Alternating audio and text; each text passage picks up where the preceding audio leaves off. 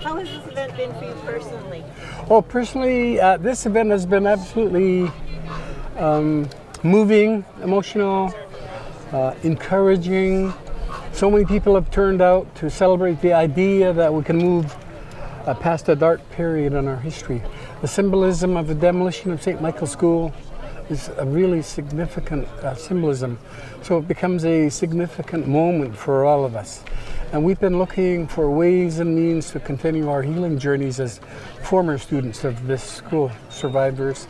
And I think the last two days have been absolutely um, miraculous. People have come from far and wide and really engaged uh, in the process. And it's an illustration of how much uh, former students and their families care about trying to find a way to move from the despair and brokenness and the harm and to begin to move beyond victimhood to say you know what? I'm going to empower myself to be all that i can be and i'm going to be free and liberate myself from that haunting memory of my life experience uh, childhood experience in a residential school.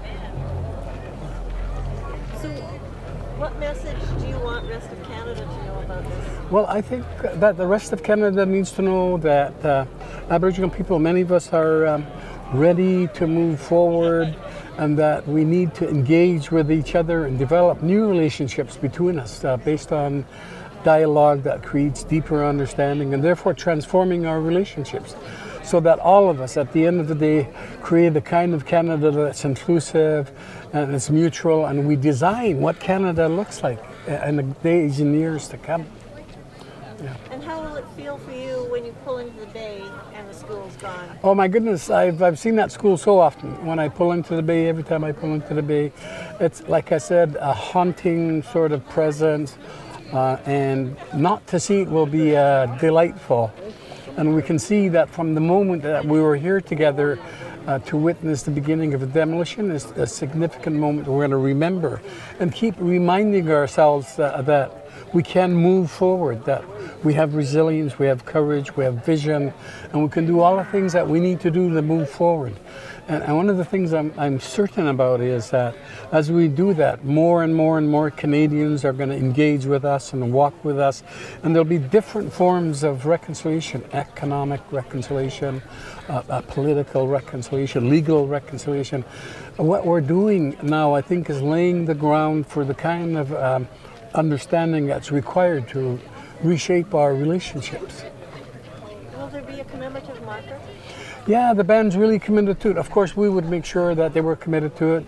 And there are, uh, in, on Reconciliation Canada's website, there's going to be a, a monument uh, commemoration uh, page that'll ask survivors to keep having input into what they think should be the monument. But the Namgis band is very committed to um, a memorial of some kind. And, and that uh, speaks to the question of why we don't, um, why we're not sad that this building is being demolished. We're still going to be able to not forget by having the monument, right? And generations and generations of people are going to see this monument and say, my God, uh, we didn't know that, but we know now.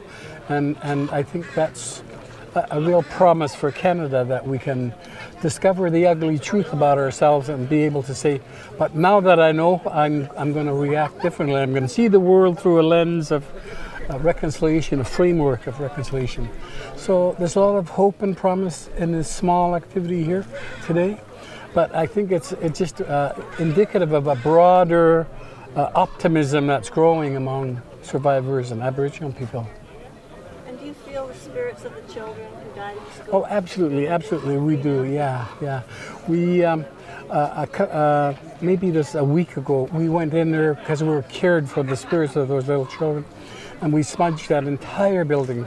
We don't call it smudge in our way. We call it kwahya, to smoke, which is to smudge.